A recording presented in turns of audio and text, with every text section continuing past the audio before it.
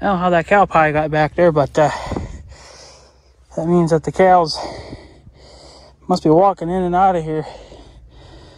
Not a very good thing. They could get kind of messed up on those tines. But uh, this is this is the old timers uh, cultivator. Um, this is what he used for many years when he farmed, and then obviously retired. And then we had this hooked to the uh, 1586. And then uh, it's been sitting here ever since.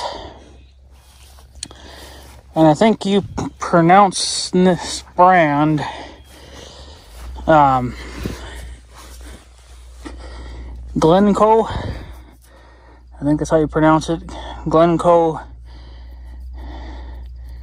whatever the hell that is. Um, but I don't know if these are. I'm confused of where it's built at because they got two different names here. They have a Glencoe, Minnesota, and then a Bloom. Bloom. I can't. I can't even see that. Bloomington. Yeah, I think that's Bloomington, Illinois. I think that's is. So I'm not really sure where this thing's built. But then over here, it's got US and Canadian part numbers. Right here, I don't know what they're for. I don't know if you just need certain parts, I guess, or maybe bearings or bushings. Um, but yeah. So it's going to need new hydraulic hoses, I think, because these are they're pretty dry rotted and they're getting kind of hard.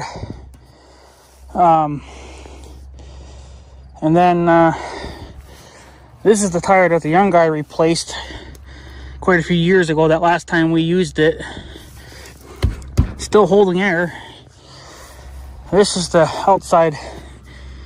Uh, I don't know what you want to call it, guide wheel or gauge wheel or whatever.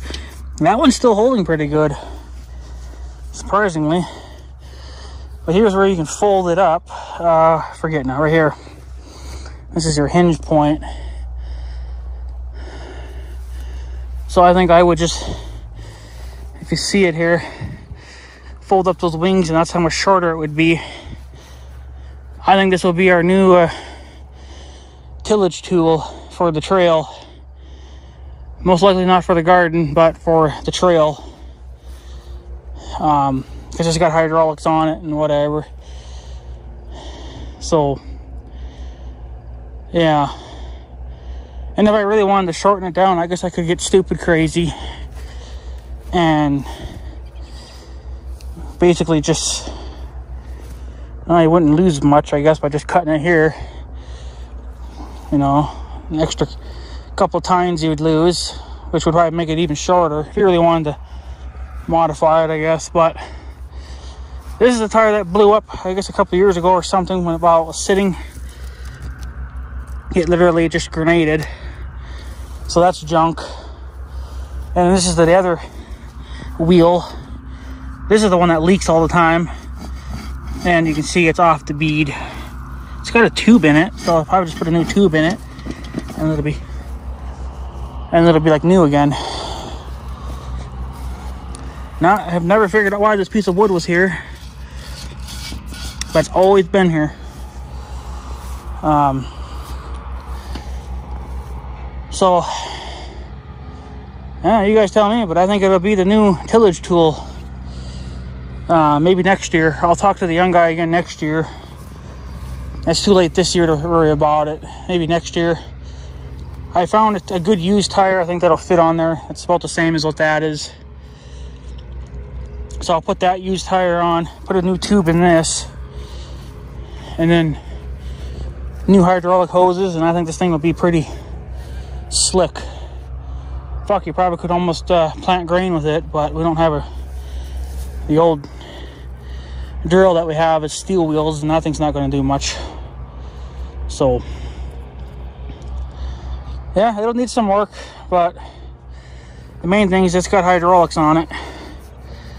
And uh, up and down and just, you can control how deep it goes with that. Looks like the cylinder starting to, the pit. I don't know how you would clean that up. I imagine some kind of a shop would do it, but I'm not taking it to a shop just for that. So I think for the amount that we're going to use it, it'll be fine. It'll clean itself off. But uh, yeah, you guys tell me what you think. A little bit of greasing and and she'll be like new again.